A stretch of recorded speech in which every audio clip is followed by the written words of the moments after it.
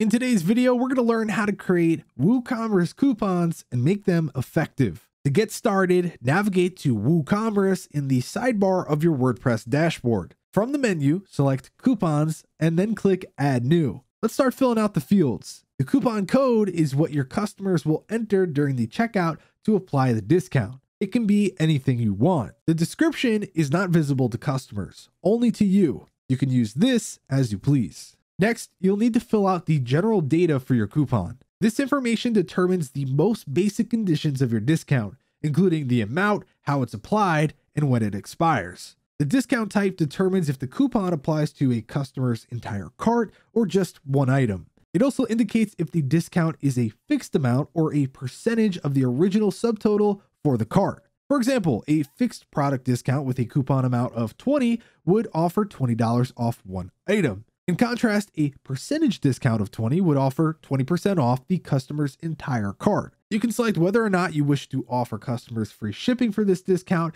and you can also set an expiration date for your coupon here too. Next, you'll need to set usage restrictions for your coupon. These conditions will determine who can add this discount to their cart. The first fields indicate minimum and maximum subtotals customers will have to reach before they can apply this coupon. The individual use only and exclude sale items conditions prevent customers from using more than one coupon per purchase and from using coupons on already discounted items respectively. You can also prevent customers from using the coupon on certain products or products in certain categories. Finally, if you wish, you can add a set list of customers who can use the coupon. To do this, add the email addresses of the customers you wish to permit in the last usage restrictions field. The usage limit per coupon defines how many times a coupon can be applied by any customer. This field is helpful for coupons directed to the first 100 customers to subscribe to your email list, for example. You can also limit the number of items a customer can apply the coupon to